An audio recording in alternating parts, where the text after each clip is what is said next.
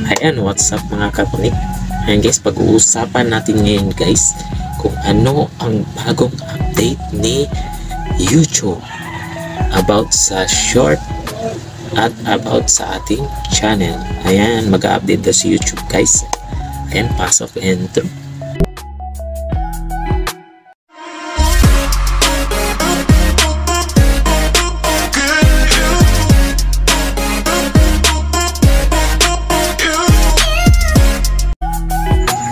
Guys, ito na po yung bagong update ni YouTube ngayong August 31 guys about short.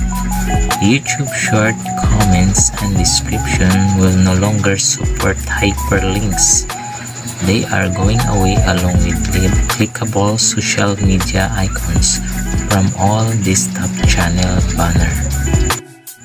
Ayan, parang ganito siya guys. Ayan.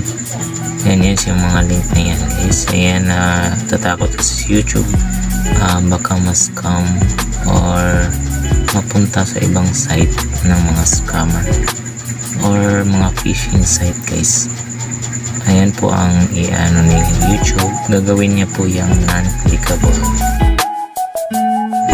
ayan ganito din guys sa mga ano natin short natin yung mga na nakalagay ayan tatanggalin na po yan YouTube Ayan, sample ito guys. Ayan guys, blue pa yan guys.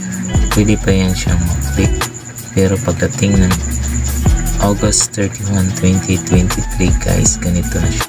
Ayan, makikita nyo guys, puti na yung uh, link na nakalagay. Hindi na po siya, non-clickable na po siya. Ayan, ayan na po siya guys. Uh, uh, huwag niyong kalimutan i-share, like, and subscribe to my YouTube channel. Guys para update po kayo sa bagong bago kong gagawin ng video. Uh, ayun lang po guys. Uh, i-share nyo guys uh, para marami pong mga uh, yan pong update ngayong August 31 2023